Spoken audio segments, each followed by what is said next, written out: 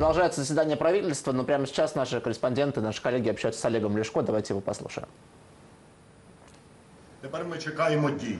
Ми чекаємо рішення уряду викинути корупцію з газового ринку, щоб українці з власних кишень не платили за корупцію влади, за домовленості корупційні таємні. Коли сьогодні Фірташ, Льовочкін і Бойко на корупційному ринку під прикриттям влади заробляють мільярди, витягуючи їх з кишень українців. Тому я сподіваюся, що уряд і прем'єр-міністр не лише нас почули, а й приймуть відповідні рішення, які непотрібних посередників викинуть із газового ринку. Це означатиме, що е, це будуть можливості знизити ціну на газ. Що і ми й добиваємося. Чим менша буде ціна на газ, тим менше платитимуть українці. Сьогодні в ціну на газ закладено посередництво корупційне Фірташа, Льовочкіна і Бойка. Мінімум 20-30% українці переплачують тільки тому, що хтось займається корупцією. І ми знаємо, хто цим займається. Фірташ, Льовочкін і Бойко під прикриттям влади. Під прикриттям президента хватить грабувати українців. Немає вже ні сил, ні грошей. Ну, ви щойно вимоги висловили, передали письмове звернення. Прем'єр-міністр наголосив на створення тимчасової комісії. Далі питання щодо Вовка. Воно може якось вирішитися, саме питання щодо абонплати за газ. Е, Щодо абонплати за газ, на 10 квітня заплановано засідання НКРЄКП. Моя залізна команда в повному складі прийде на це засідання. Ми витрусимо з вовка душу. Ми знімемо з нього вечу шерсть, під якою він ховається. Ми покажемо його ікла і його нутро. Антиукраїнське, грабіжницьке і корупційне. Щодо відставки, в парламенті проголосували закон про НКРЄКП.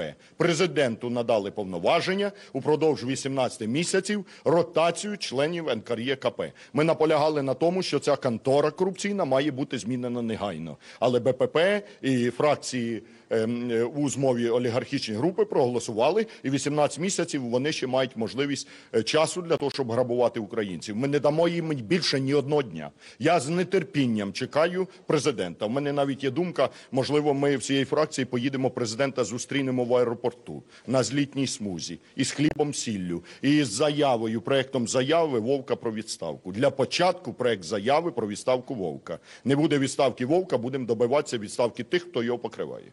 Перед засіданням ви розмовляли з прем'єр-міністром. Ми бачили, нас не допустили, щоб ми почули про що ви розмовляли саме. Як відреагував прем'єр-міністр, що ви прийшли на засідання уряду? Чи він не казав, що це власне ну в якійсь мірі блокування да у роботи уряду? Я хай не ображається Гройсман, але я відкрию таємницю, про що він мені сказав. Він запропонував мені йти на посаду прем'єр-міністра, зайняти його посаду. Я відмовився, тому що ми посаду візьмемо з рук українців, перемігши на виборах, на президентських виборах, потім на парламентських моя партія. От про що була розмова. Я, до речі, звернув на це увагу і подякував прем'єр-міністру. Мені важко уявити, щоб за часів Азарова чи Януковича опозиційна фракція мала можливість виступити на Кабміні. Тобто, насправді суспільство міняється і влада міняється, і вони вимушені чути людей. Зрозуміло, що під тиском, зрозуміло, що багато хто сидить зубами скрижить, коли нас бачить. Багатьох жаба даве, що вони не такі успішні, не такі молоді, не такі красиві, як наші дівчата. Про нас ми не говоримо. Але хай терплять. Чому Гройсман вам таке запропонував? Вже втомився? Я думаю, що Гройсман бачить, що радикальна партія це та команда, яка наведе лад в країні. Можливо, він клинки до нас підбиває. Можливо, він хоче вступити у фракцію партію радикальну. Ми не проти за однієї умови: підняти людям пенсії, підняти зарплати і не розкрадати Україну, не деребанити землю і радикально міняти політику. Якщо будуть виконувати програму радикальної партії, хай приходять. Далі ви повертаєтесь в раду, я так розумію, ще парламент працює. Блокуватимете трибуну? Ні, ми зараз блокувати трибуну не будемо, тому що частково мета досягнута. Є рішення НКРЄКП про призупинення мінімум на три місяці абонплати. Але ви вчора були з цим не надто погоджені все одно. Що Сьогодні ми передали вимогу і вимагаємо від уряду повернути до державного управління державну і народну власність, якою безплатно експлуатують олігархи. І третя вимога відставка НКРЄКП – це зустріч буде з президентом.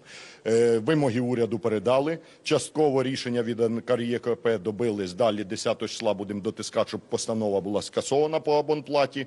Звернення до президента, як тільки він повернеться, наполягатимемо на зустрічі з